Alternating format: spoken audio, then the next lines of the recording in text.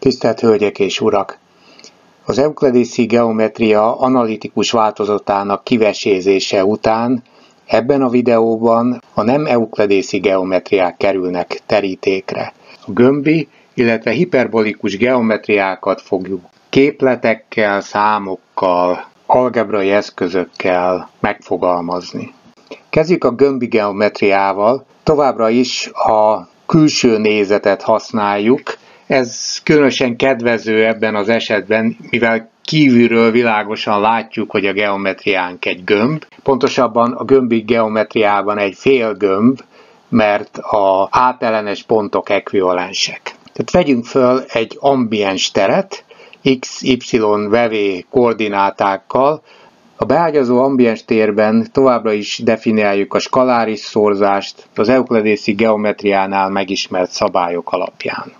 Ennek a gömbi geometriának azon pontok lehetnek részei, akik rajta vannak ezen a félgömbön, azaz a távolságuk az origóhoz képest egységnyi, amit skaláris szorzással így fejezhetünk ki, illetve a koordinátákra végrehajtva a skaláris szorzásból származó szabályokat a pont XY vevé koordinátáinak négyzetösszege egy kell, hogy legyen, és a félgömböt pedig úgy jelölhetjük ki, hogyha kikötjük, hogy a vevé koordináta nem lehet negatív. Nézzük a vektorokat. A vektorok irányokat jelentenek, mégpedig olyan irányokat, amelyek nem vezetnek ki a geometriából. Egy gömb felszínén egy adott P pontban ilyen irányok a gömb érintő síkjába kell, hogy essenek. A gömbi geometria tulajdonságai miatt a tangens térbe eső vektorok és a P, mint háromdimenziós ambiens vektor merőleges kell, hogy legyenek egymásra, azaz a skalár szorzatuk azonosan nulla. Ezt például úgy láthatjuk be, hogy tegyük föl, hogy a P gömbön levő pontban vagyunk, és egy V irány mentén infinitesimálisan elmozdulunk, és azt szeretnénk, hogy az elmozdulás eredményeképpen legalábbis lineáris rendben még mindig a gömb felszínén maradjunk. Akkor maradunk a gömb felszínén, hogyha az új pont saját magával képzett skaláris szorzata továbbra is egy. Fejtsük ki, ezen összeg négyzetét, ugye P négyzet adódik, mivel a gömb felszínéről indultunk el, ez egy, aztán P-szer, V-szer, kétszer delta t, illetve egy másodrendű tag, ami most nem érdekes. Ja, a P négyzet egy, akkor vagyunk továbbra is a gömbön, hogyha ez a négyzet is egy, aminek szükséges feltétel, hogy a P szer V nulla legyen, tehát a P és a V egymásra merőleges vektorok kell, hogy legyenek. Ez a megállapítás azt jelenti, hogy az eukledészi geometriától eltérően most a vektorok nem általában ugyanazok minden pontra, hanem tudnunk kell, hogy a geometria mely pontjában vagyunk ahhoz, hogy kijelöljük a megengedhető vektoroknak a halmazát. Mivel a vektorok a gömbi geometriában csak irányokat jelölnek, távolságokat nem, ezért a továbbiakban kikötjük, hogy a vektoraink mindig egységvektorok. A hosszuk úgyse tartalmazna értelmes információt. Az egyenes a gömbi geometriának is fontos fogalma. Két pont definiálja, mint látni fogjuk a legrövidebb utat azonosítja, és végig a gömb felületén szalad. A gömbi geometriában az egyenest is, mint egységsebességű mozgás definiáljuk, amelynek kiindulási pontja a P, kezdeti iránya pedig egy egységvektor V.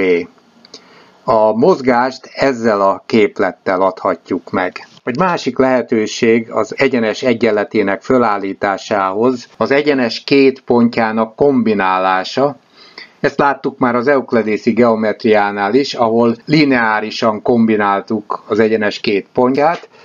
Most is kombinációról van szó, de a színusz függvényekkel kell azt a kombinációt elvégezni. Lássuk be, hogy ezek a definíciók tényleg egyenest adnak meg. Tehát egyrészt az így megadott képlettel csak olyan pontokat tudunk előállítani, amely a gömb felületén van, és ez a mozgás valóban egységsebesség.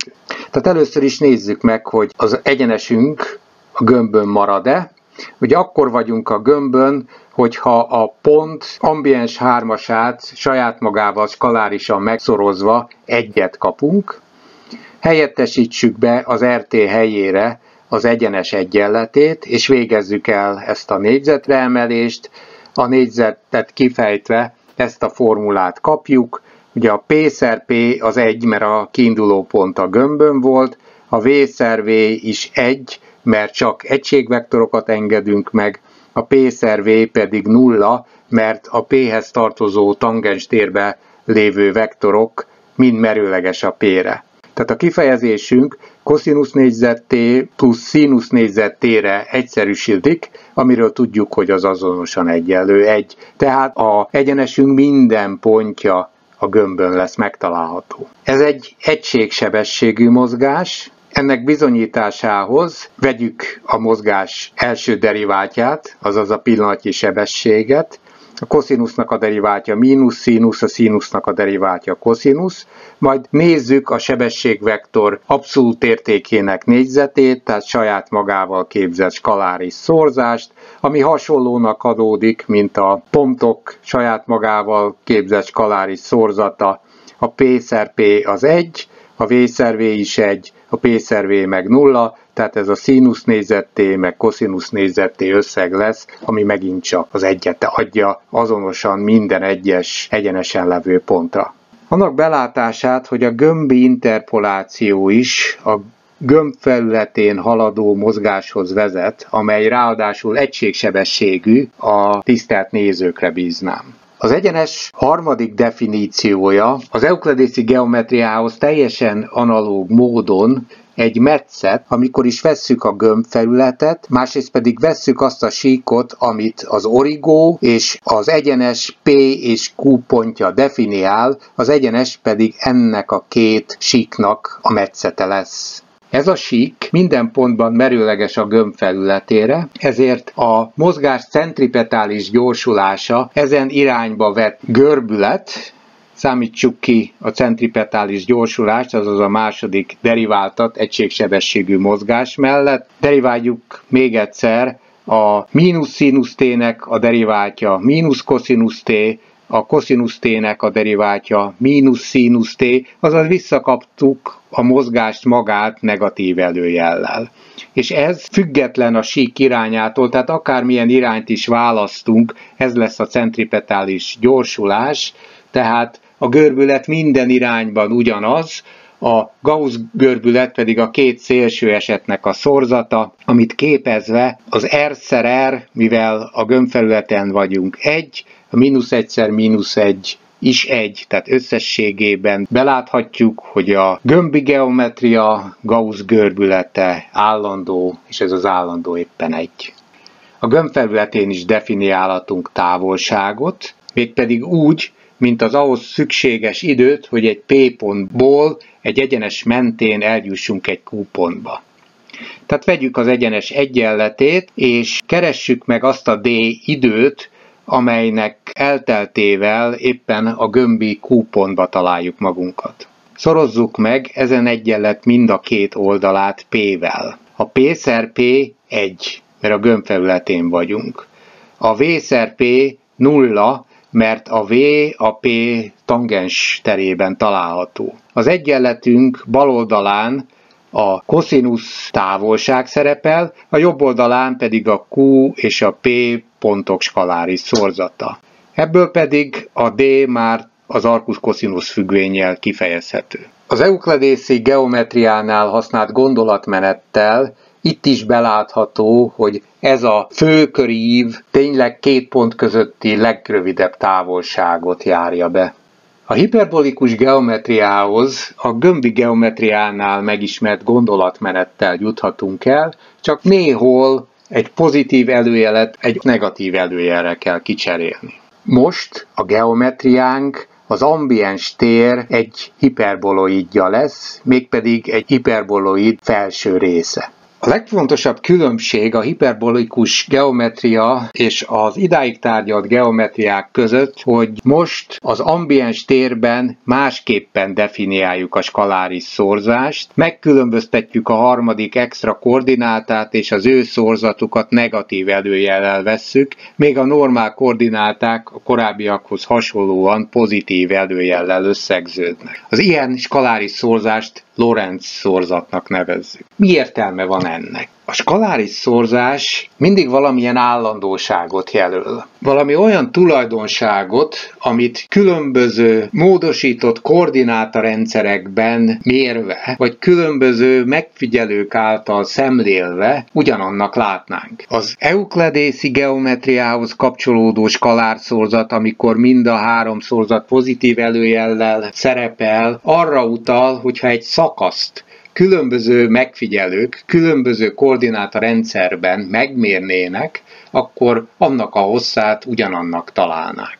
A Lorentz szorzat pedig, ha az első két koordinátát térkoordinátának tekintjük, a extra koordinátát pedig időkoordinátáknak, akkor a sebességet tekinti megmaradó mennyiségnek.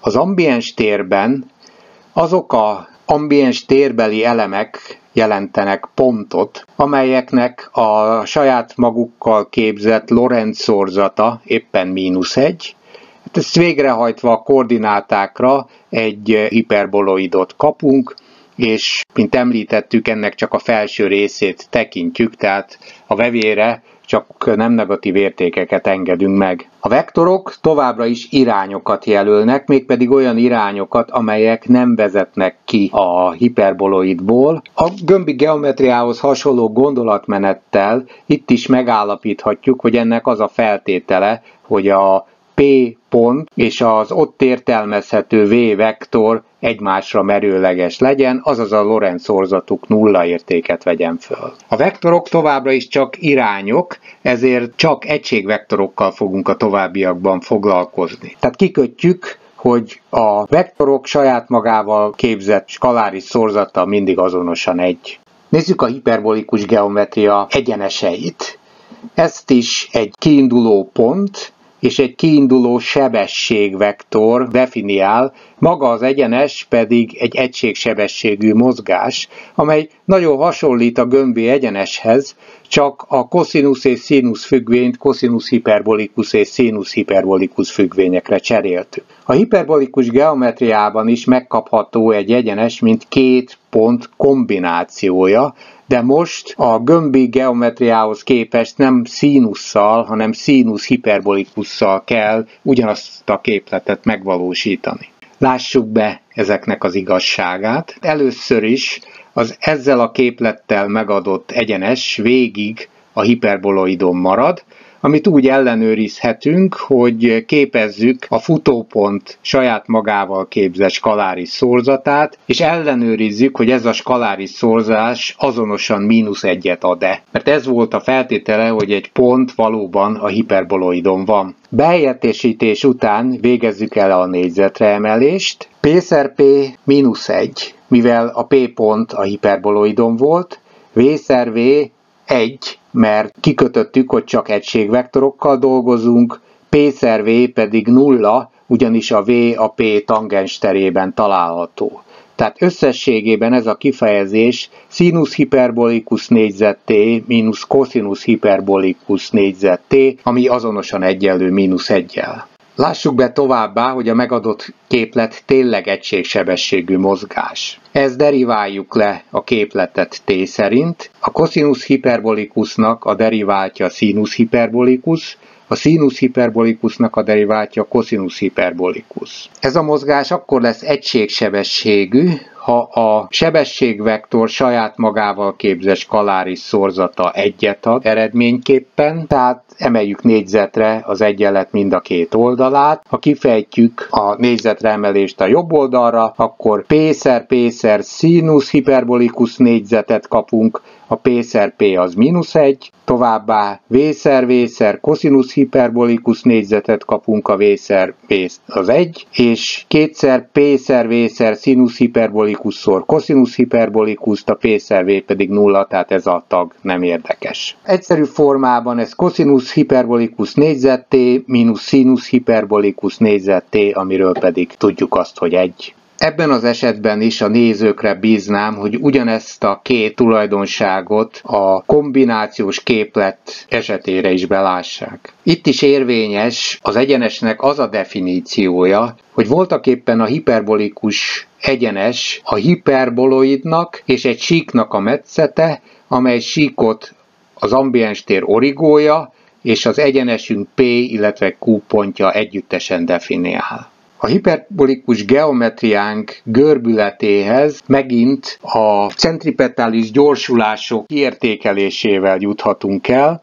A centripetális gyorsulás az egységsebességű mozgás második deriváltja, tehát deriváljuk ezt még egyszer. A színusz hiperbolikusnak a deriváltja koszinusz hiperbolikus, a koszinusz hiperbolikusnak a deriváltja színusz hiperbolikus, azaz a második derivált egy az egybe visszaadja a pontnak a helyét. És ez igaz, akármilyen irányból is érkezünk el az adott pontra, tehát minden irányban ugyanazt a görbületet tapasztaljuk, vegyük a két szélső eset, ami jelen esetben persze megegyezik, centripetális gyorsulásának a skalár szorzatát, mivel az R pont rajta van a hiperboloidon, egy pont saját magával képzett skaláris szorzása mínusz egyet ad eredményül. Az hiperbolikus geometriában a Gauss görbület minden pontban azonosan mínusz egy. Ez egy negatív görbületű felület. Szeretném hangsúlyozni azt, hogy ez a negatív görbület elsősorban a Lorenz szorzatnak, mint skaláris szorzatnak köszönhető.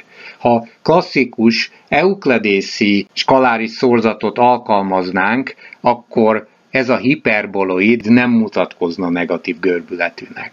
Hiperbolikus geometriában is létezik távolság, mégpedig az az idő, ami ahhoz szükséges, hogy egy P pontból eljussunk a Q pontba egy egységsebességű mozgást végrehajtva. Tehát felírjuk az egyenes egyenletét, az időt kicseréljük a távolsággal, majd ebből az egyenletből kifejezzük a P-ből Q-ba mozgáshoz szükséges D időt, szorozzuk meg az egyenletünk mindkét oldalát P-vel, a P szer P mínusz 1, a P szer V 0, tehát a egyenletünk bal oldalán cosinus hyperbolicus D szerepel negatív előjellel, a jobb oldalán pedig a Q-szor P skaláris szorzás, a mínusz előjelet átvihettem a második oldalra, majd arcus cosinus hyperbolicus függvényel a távolság kifejezhető. Itt is belátható, hogy az egyenes valóban geodézikus vonal, tehát két pont között mindig a legrövidebb utat jelöli ki a nem eukledészi sík analitikus geometriáját is alapszinten fölépítettük. Most is egy külső nézetet alkalmaztunk, tehát ambiens koordinátákkal dolgoztunk, amire most alapvető szükség van, mert a nem eukledészi geometriák görbülnek a távolság és szög fogalmának megalkotásához ismét csak a ambiens térben definiált skaláris szorzást használtuk föl, ami hiperbolikus geometriában a Lorentz szorzat alkalmazását jelentette, gömbi geometriában ugyanazt a skaláris szorzást alkalmaztuk, ami euklidészi geometriában is bevált. Újdonság vagy különlegesség az euklidészi geometriához képest, hogy most a ambiens térbeli vektorok halmaza attól függ, hogy hol vagyunk a geometriában. Szemben például az euklidészi geometriával, ahol a vektorok halmaza ugyanaz volt a sík bármely pontjában.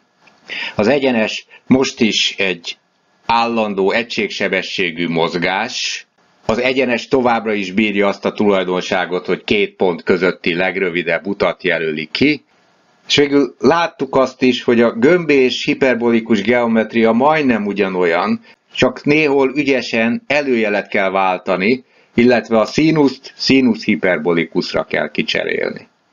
Ezzel a geometriák alapjait tartalmazó részt tulajdonképpen be is fejeztük. Köszönöm a megtisztelő figyelmüket!